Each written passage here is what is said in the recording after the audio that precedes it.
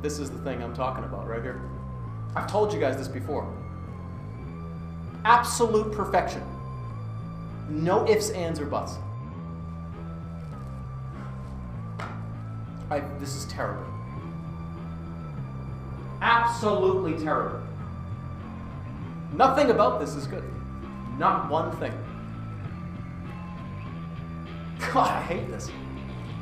I hate this. This is terrible. Fuck you.